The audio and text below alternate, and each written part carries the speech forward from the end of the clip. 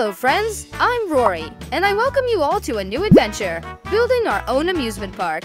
We will build everything using a game called Roller Coaster Tycoon. In this game, we need to create the best amusement park in the world and ensure we attract enough visitors who can enjoy their time in the park. First, let's start with a roller coaster. I love roller coasters. They are my favorites. But wait, do you know anything about them?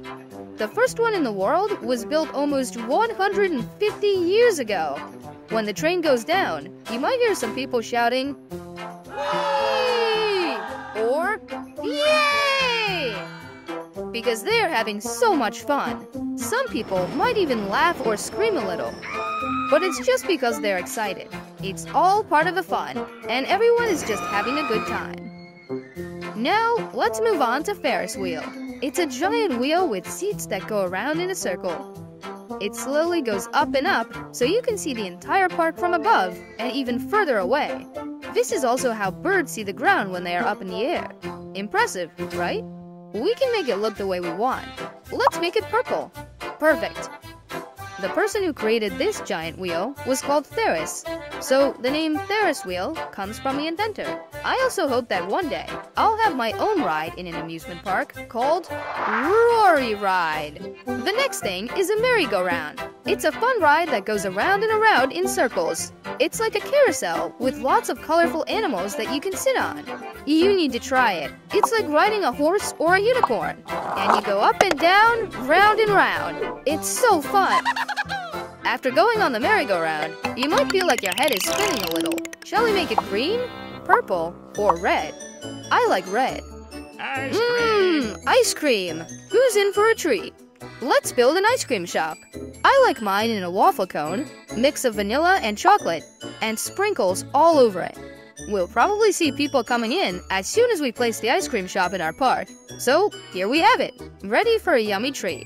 Do you know what's another thing people like to try in amusement parks? A ride up to the observation deck. We should also build one in our park. An observation deck is like a platform high up in the air, from where you can see the beautiful view of our amusement park and the surrounding area. Look how high up we can build it. We can't open without creating an entrance to allow visitors to come in. The entrance should be here, and then a few pathways for visitors to walk on. And that's it. You see, they are already coming in. People might want a quick snack, so let's set up a french fries stall. They're easy to get on the go, and they provide the energy you need to continue having fun and playing at the park. I also want to add a scrambled eggs ride. And no, I'm not talking about the food. It's another ride. Do you see it? It spins around and around while you sit inside of it. It's called the scrambled eggs ride because it feels like you are being mixed up like eggs in a bowl. Haha, what a crazy name, isn't it? Now, let's build one of my favorite things in the park a giant slide. A slide is a really fun thing to play on. Maybe you already played on one when you went to a playground. The difference is that this one is like a big tube that you climb up, and then you sit down at the top and slide all the way down to the bottom. It's kind of like going down a big, twisty tunnel. Look at these kids, how much they enjoy going down the slide. Next thing to build is the haunted house. Imagine walking through a dark and creepy house where ghosts might be hiding behind every corner. You might hear strange noises or see things moving. What a spooky adventure! It's really exciting and fun to see what surprises are waiting for you inside. Are you brave enough to go in and find out? Don't worry, it's all pretend. People know that, but it's still exciting to see what's inside. In a haunted house, some people scream, some people laugh, and some people act brave. It's all part of the fun.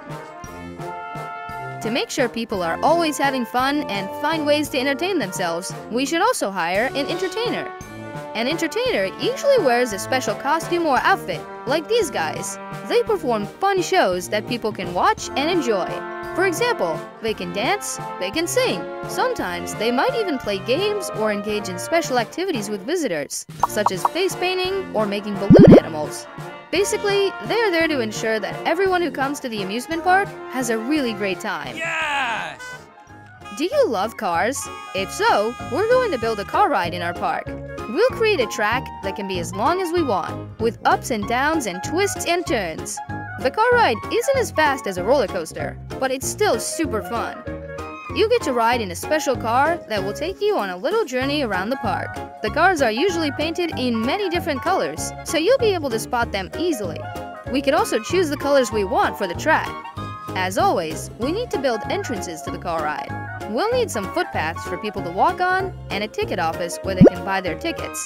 And that's it. We're ready to receive visitors. Great job, right? Now, let's consider what we can do next. What should we choose? Sometimes, instead of cars, there are trains that take you on a ride without even leaving the park. It's a perfect thing to do when you're a bit tired and your feet hurt a little. Ouch. So, we can build a tiny railroad here for people to enjoy a little trip. We have a lot of space in this park, so we can make the railroad track as long as we want.